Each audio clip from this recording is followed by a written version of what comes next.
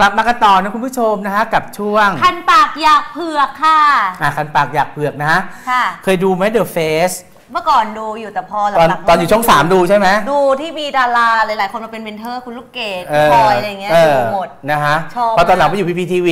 ไม่ได้ดูเลยไม่ได้ดูเลยเอาจริงใช่ไหมฮะค่ะ อะเราจะไปพูดถึงเจ้าของนะลิขสิทธิ์ที่ไปซื้อมาจากเมืองนอกนะฮะ The Face นี่ก็มาจากอังกฤษมาก่อนนะฮะ ค่ะคุณเต้กันตนา นะฮะ คุณเต้ แต่คนที่เขาจะเรียกเดอะเดอะเต้ท้อ The Face 5เนี่ยถูกวิจารณ์ยับแล้วเรตติ้งไม่ดีด้วยนะฮะ ค่ะวอนขอเวลาพิสูจน์ด้วย จริงใช่ ๆเต้นี่น่าจะลงประกวดนะรับรองมงลงที่เต้แน่นอนเป๊ะมากเวอร์นะคะค่ะคือตอนนี้มาถึงซีซั่น5แล้ว เร็วเหมือนกันนะคะสำหรับรายการ The Face Thailand ซึ่งซีซั่นนี้เนี่ยเจอกระแสคนดูไม่ถูกใจ ซึ่งหัวเรือใหญ่ค่ายกันตนา ก็คือคุณเต้ปิยะรัฐผู้ผลิตรายการค่ะ ก็ออกมาบอกบอกว่าเสียใจกับกระแสแรงๆที่มาถึงตัวไหมเขาบอกว่าเราเตรียมใจเอาไว้แล้วประมาณหนึ่งคุยกับทีมงานไว้แล้วว่า หลังจากวันแถลงข่าวรูปแบบรายการเนี่ยขอให้ทุกคนเข้มแข็งนะ แล้วก็ยิ้มนิดนึงอะไรเงี้ยให้กำลังใจ เพราะว่าเรารู้แล้วแหละว่าต้องโดนแน่นอนไม่มากก็น้อย โดยเฉพาะ mentor ใหม่ ก็มีโทนี่รากแก่นมารีญาพูลเลิศลาภ จีน่าแบงค์แชมป์ The Face สิบางคนเห็นหน้าใครยังไม่รู้จักเลยเออใช่เออเพราะว่าเป็นแชมป์ The Face ใช่คนนี้ใครงงอยู่เลยใช่นะคะไม่รู้จักต้องไปเปิดกูเกิลค่ะดูเอารู้จักนะแต่คะมารีญากับโทนี่อะเนี่ยแหละดังๆก็มีอยู่แค่นี้อะสอนะงคะใช่อืมค่ะนี่ก็แหละส่วนหนึ่งที่ทำให้เรตติ้งตก แต่เขาบอกว่า แต่นึกไม่ถึงว่าซีซั่นนี้อะเรตติ้งมันจะขนาดนี้อะสูงนะคะอะแล้วก็คิดในแง่ดีว่า อย่างน้อยเนี่ยเขายังให้ความสนใจรายการของเรา เขาดูไปบ่นไปก็ยังดีกว่าเขาไม่เปิดดูเลย เห็นไหมล่ะ นี่แหละคนหัวใจของคนทำรายการทีวี คิดแง่บวกเนาะ เธอจำไม่ได้ที่มาบอกว่าเนี่ยโดนด่าแล้วท้อเนี่ยค่ะ เธอดูเต้เห็นไหมล่ะเขาโดนด่าเขายังเชิดใส่เลยเพราะเขามองว่าอะไรรู้ไหมคนด่าแสดงว่าคนดูอ๋อเออคนทำนี่แหละรายการทีวีเขาจะคิดอย่างนี้ใช่เขาจะไม่คิดเหมือนพวกเธอเออค่ะ โดนด่าโดนติท้อ ท้อท้อไม่ฉันท้อฉันได้ยังหัวเราะเลยก็แสดงว่าคนดูสิ ไม่ดูเขาจะด่าเหรอ เออนะฮะก็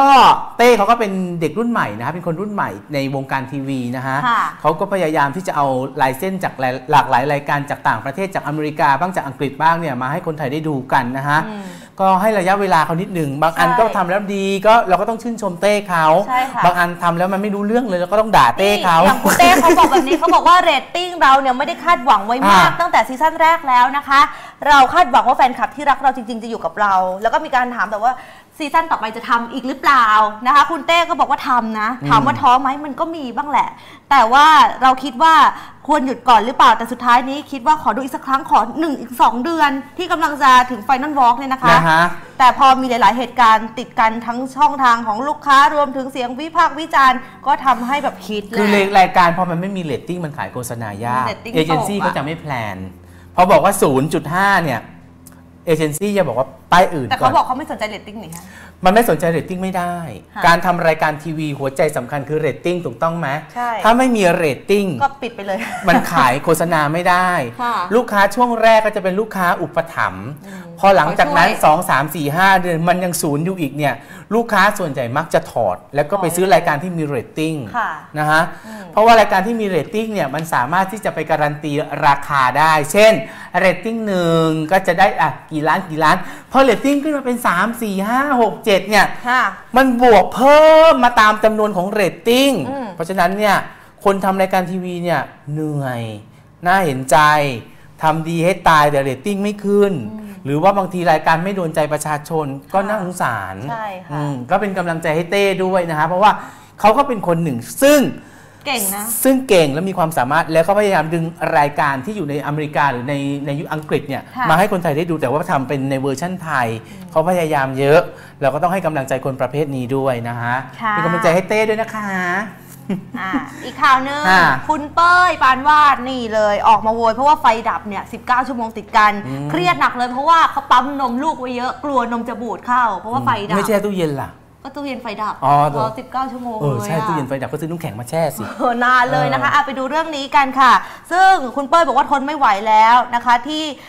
ยังต้องเจอกับแบบนี้เลยก็คือต้องหยุดชะงักเลยจริงๆ นี่เธอปั๊มนมไว้เยอะมากเลยนะคะอ๋อเหรอคะ ใช่ค่ะ คุณเป้ยบอกว่านะคะต้องหยุดชะงักเหตุเพราะว่าตั้งแต่ช่วงกลางคืนของวันที่ 12 พฤษภาคมเนี่ยค่ะ เกิดไฟฟ้าดับจนเจ้าตัวโพสต์ลง IG บอกว่าบ้านไฟดับตู้แช่นมจะทำยังไงดี ต่อมาก็ได้โพสต์น้ำแข็งไม่มีเหรอเป้ย น้ำแข็ง มันต้องมีน้ำแข็งช่องฟรีซไง เอานมไปแช่ละน้ำลาแข็ยงหมดแล้ว บ้าเก้าชั่วโมงติดกันนี่ละลายไหก็มขับไปเซเว่นหน้าปากซอยก็ซื้อน้ำแข็งก็ได้นี่ อืมโดยเธอบอกมันต้องว่าแก้ปัญหาเฉพาะหน้าสิ เขาโพสต์อีกยังไม่หมดนี่เออเขาบอกว่าจนป่านนี้ไฟก็ยังไม่มา มีใครพอจะแนะนำได้บ้างไหม ว่าร้านไหนขายตู้พลาสติกใส่น้ำแข็งขนาดใหญ่แล้วน้ำแข็งแห้งบ้างคะอะเซเว่นไงเป้ยเปิด 24 ชั่วโมงแถวบ้านเธอไม่มีเหรออืม เธอก็ขับเนี่ยให้คนใช้อะขับไปไอเดินไปหน้าปากซอยซื้อน้ำแข็งสัก50บาทอะเออมันก็ช่วยได้อยู่ก็ช่วยนะได้นะใช่เออเป้ยบางทีบางทีมึงก็ไม่สิ่งบางสิ่งบางอย่างเป้ยก็ไม่ควรโพสต์นะเออน้ำแข็งเซเว่นน่ะเออใช่แต่สุดท้ายอาแล้แปะวอาม่าแถวนั้นก็น่าจะที่ไฟดับนี่ะไม่ได้เกี่ยวกับการไฟฟ้า แต่ว่าเกี่ยวกับไฟในหมู่บ้านเขาขัดข้องมีปัญหาประจำค่ะทุกที่เป็นอย่างนี้หมดนะค่ะฮะ เออเป้ยก็ไปเซเว่นลูกนะฮะ แล้วก็ไปซื้อน้ำแข็งมาแช่นม ลูกนมจะได้ไม่บูด ถ้าเกิดอาการที่เราไปนั่งโพสต์ มันแล้วไม่ไปไหนเลยเนี่ยมันก็ลำบาก ไฟดับไม่ได้หมายความว่ารถเราขับไม่ได้นี่ นี่เอาตู้เย็นนี่ไปให้บ้านพี่หนิงฝากเอาไว้เนี่ย ฝากนมปลาลินด้วยนะหนิง จริงเหรอ นี่ยกตู้เย็นไม่ปขนาดนี้เลยเหรอ ใช่ขนาดฉันว่าเอาเวลาที่จะยกตู้เย็นไปซื้อน้ำแข็งจะง่ายกว่าไหมฮะเขาทำขนาดนี้แหละนมเขาอาจจะเยอะมากเต็มตู้เย็นอะไรอย่างไมเงี้ย่ไม่เยอะมากหรอก แต่เขาเข้าใจเขานะเขาเป็นแม่เขาก็ต้องรักลูกนะฮะแต่ว่าออกไปซื้อน้ำแข็งจะง่ายกว่าไหมนะฮะอืม แต่ก็ไม่รู้นะฮะเพราะว่าเราไม่เคยมีลูกนี่นนะมฮะทั้งนั้นเลยเนี่ย ทำไมมันสีเป็นสีส้มล่ะเป็นซองมั้ง อ๋อเหรอ ใช่ซองถุง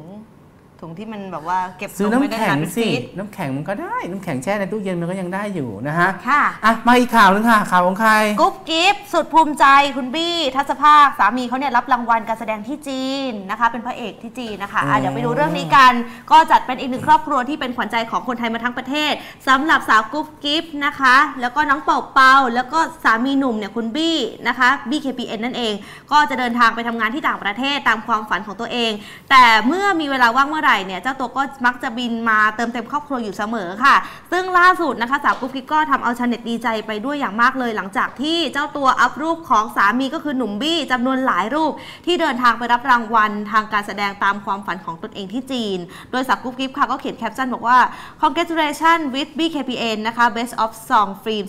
2018 ยินดีกับบี้ด้วยนะคะ เมื่อวานเนี่ยนางไปจีน บินไปรับรางวัลเกี่ยวกับนักแสดงที่ทั้งร้องเพลงและก็แสดงละครได้ดีของปี 2018แถมได้ร้องเพลงบนเวทีใหญ่โชว์ด้วย ภูมิใจที่เห็นฝันที่นางตั้งใจในใหญ่โตขึ้นทุกวัน เดินต่อไปนะ ทางนี้ยิ้มให้เสมอนี่เลยนะฮะเป็นความภาคภูมิใจ ใหม่ปลื้มนะคะแฟนดูแลไม่รังเกียจนะแซอะอะไรอะแซวแต่สินสอดไม่ลดนะคะ ใหม่ไหนอะสุคนทวาไม่ใช่ใหม่อ๋จัอนทรานะจะก็นึกว่าใหม่ไหนมีดาราชื่อใหม่เยอะ ใช่ค่ะ คุณใหม่สุคนทวานะคะ ก็บอกได้เลยว่าตอนนี้มีโมเมนต์หวานๆนะคะสะท้านใจคนโสดเนี่ยออกมาให้เห็นกันอยู่บ่อยๆสำหรับคุณใหม่กับหวานใจดีเจต้นสรพงษ์จิตสุนทร ซึ่งล่าสุดสาวใหม่เนี่ยป่วยเป็นไข้เลือดออก อ๋อ ต้องนอนพักรักษาตัวที่โรงพยาบาล ดีเจต้นเนี่ยก็ไม่ทิ้งไปไหนนะคะ ก็ดูแลสาวใหม่เป็นอย่างดี โดยสาวใหม่ค่ะ ก็ได้ลงรูปที่ตนนอนอยู่ที่โรงพยาบาล พร้อมแคปชั่นบอกว่าวันนี้ไข้เลือดออกหายเกือบสนิทแล้ว อ๋อ เหลือต่อมน้ำเหลืองอักเสบนิดหน่อยมึนหัวปวดหัวปวดตัวนิดนึง แต่รวมๆเนี่ยถือว่า 70%แล้วนะคะ ก็ขอบคุณแฟนเขาแหละที่ดูแลตั้งแต่วันแรกที่ไข้ขึ้น แล้วก็รู้ว่าเป็นไข้เลือดออกจนถึงวันสุดท้ายเลยหายไวกว่าคนอื่น เพราะพี่ดูแลก็ว่าได้ทำทุกอย่างให้หนูจริง ๆ ขอบคุณนะพี่เนี่ยเขาก็วงเล็บบอกว่า ดีแค่ไหนสินสอดก็ไม่ลดนะอืมนี่แหละนะฮะใหม่สุคนทวาเนี่ยเขาจบนิเทศศาสตร์ศรีปทุมนะฮะค่ะเป็นรุ่นเหลนละน้องพี่เหลนเลนเลยนะฮะตอนนั้นไปทำรายการช่องหนึ่งตรงแถวสุขุมวิทร้อยหนึ่งน้ำมันท่วมไง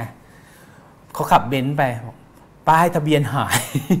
น้ำมันท่วมไงอ๋ออมท่วมหนักมาก แต่รถพี่ป้ายไม่หายทำไมคะมันมันไม่ไม่หายแต่ของใหม่เขาหาย อ๋อ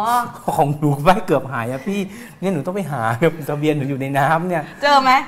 ไม่แน่ใจอะทำไมอะ โอ้นะฮะว่าป้ายหายหรือเปล่าแต่มันหลุดออกไปนะเห็นก็บ่นให้ฟังนะฮะอะเดี๋ยวเราพักกันสักครู่หนึ่งก่อนคุณผู้ชมนะ เดี๋ยวช่วงหน้านะฮะมาเวลเตรียมทำซีรีส์นะฮะ Ghost Rider นะฮะ ลงช่องช่องหนึ่งนะฮะ จะเป็นอย่างไรนะ ต้องติดตามช่วงนี้พักสักครู่หนึ่งก่อนครับ